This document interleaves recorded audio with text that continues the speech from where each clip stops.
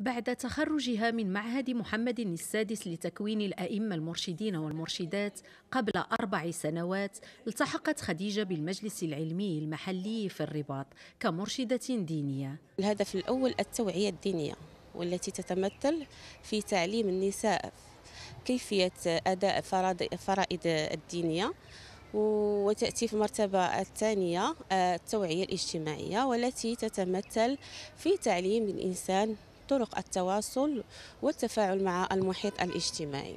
تقدم خديجة دروس الوعظ والإرشاد للنساء في المساجد وتعلمهن أصول الدين بعيدا عن الغلو والتطرف.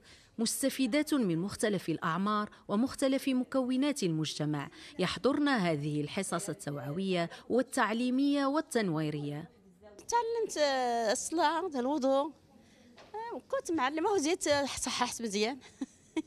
كنت نسقسي أنا كنت نسقسي على الوضوء على داكشي كنت أنا نسقسي. ودابا عاود استفدنا مزيان. بزاف د الحوايج كنا تنجهلوهم. الحمد لله تنستافدوا منهم هنايا.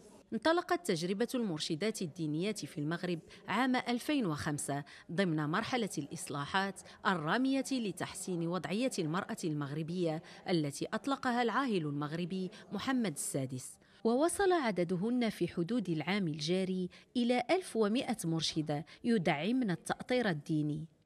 وهناك أدوار أخرى تقوم بها هذه الفئة منها تأطير تأطير القيمات الدينيات من محفظات وواعظات من أجل ترسيخ الثوابت الدينية والوطنية للمملكة. المتمثلة في العقيدة الأشعرية والمذهب المالكي والتصوف السني وإمارة المؤمنين.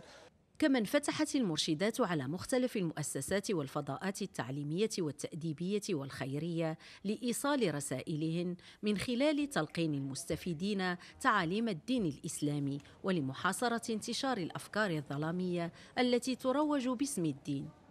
خطاب تنويري تقدمه المرشدات بعيدا عن التطرف والمغالاة يعكس مبدأ الوسطية والاعتدال في العقيدة والدين.